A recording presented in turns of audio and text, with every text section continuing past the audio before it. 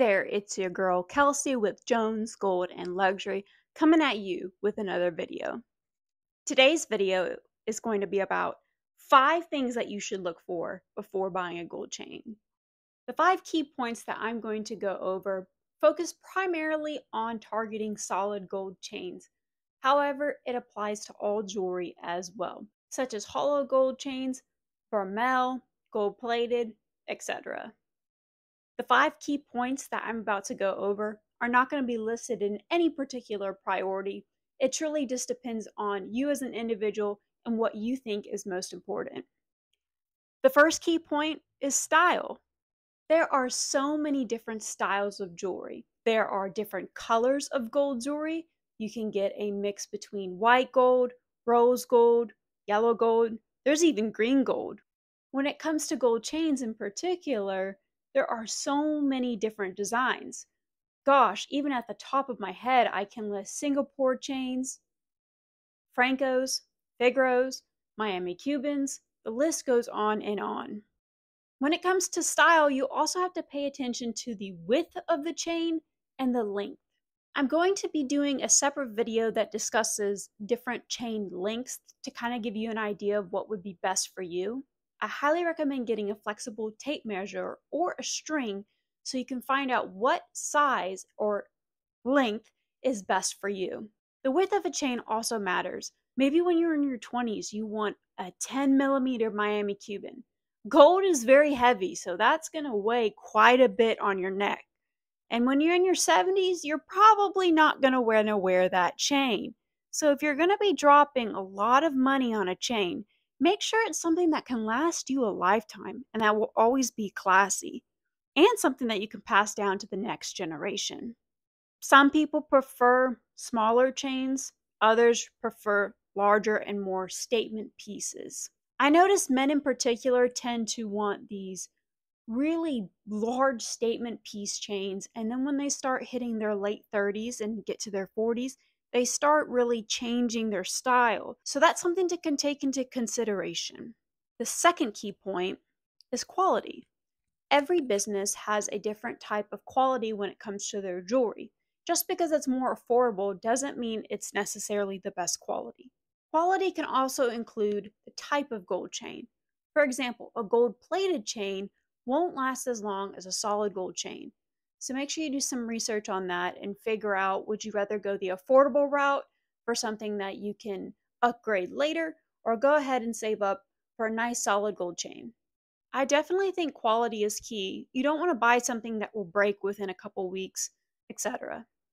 Hang on there. Before we get to the third key point, are you subscribed to the channel? Did you know that most people watching this video are not subscribed to Jones Gold and Luxury? Go ahead and subscribe below and put on your notifications so you're notified when the next video is uploaded. And if you're enjoying this video so far, don't forget to leave it a like. The third key point is customer service. Gold is not cheap, it's very expensive. And so when you're buying a fine jewelry piece, you should always be working with a business that you know has your best interest in mind. You want to make sure that you're being taken care of as a customer. The last thing you want to endure is someone very rude or condescending when you're trying to look for a really fine piece that you've worked really hard to save up for. For example, you don't want to go with a business that treats you like the small guy because they've got other customers spending a lot more money than you are. Your hard earned money is just as important as somebody else's. Choose a business that you know will provide you the best customer satisfaction. The fourth key point is gram weight according to price. You obviously want a good deal and you want the best price according to gram weight. Now, there's also a flip side to this. If you see any jewelry being sold for spot price of gold, steer clear because that's likely to be a scam. It is nearly impossible for a business to make any profit if they're selling gold jewelry at spot price, simply because there are so many costs to running a business, such as website fees, shipping fees, custom brokerage fees, labor cost, transaction fees. The list goes on and on. Therefore, just be very careful. And sometimes you get what you pay for. So maybe you're getting a good deal, but the quality is missing, the customer service is missing. there could be a whole bunch of things that are missing.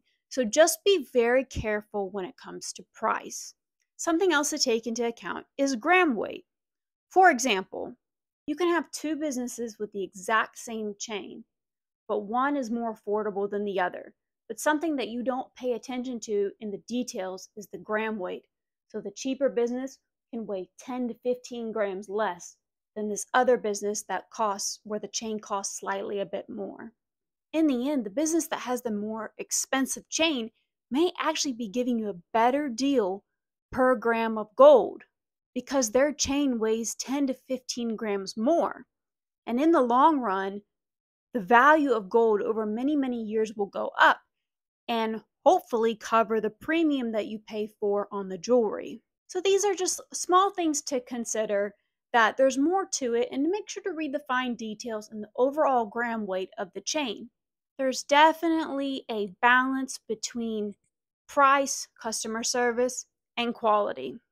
Lastly, number five is carat.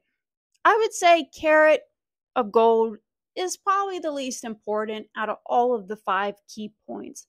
However, you should know what carat of solid gold you're wanting to purchase. For example, if you buy a 24 carat gold chain, you're going to be spending a ton of money and then it scratches and it has some kind of denting and it really upsets you. That would be such a bummer. So make sure to do some research to find out what carat of solid gold is best for you. If you're looking for something a lot more durable and a lot more affordable, go with 10 carat. If you're looking between durability and high carat, maybe go the 18 carat route or meet in the middle and go 14 karat. Today I'm wearing a solid 18 karat Franco chain from Jones Gold and Luxury. On the JGL website it's listed as the Dragon Scale chain. That's because literally Francos from a certain angle look like dragon scales. I have to say that the Franco chain is my second favorite chain of all time. It's just so durable, such a classy look, and very comfortable to wear. If you're interested in looking for a Franco chain for yourself, go to jonesgoldandluxury.com. That's it for today's video. I hope this video helped you narrow down some of the things that you should be thinking of before buying a gold chain. Don't forget to like and subscribe. You can follow us on Instagram and Facebook at Jones Gold Luxury. Thanks so much for watching, guys. Stay golden.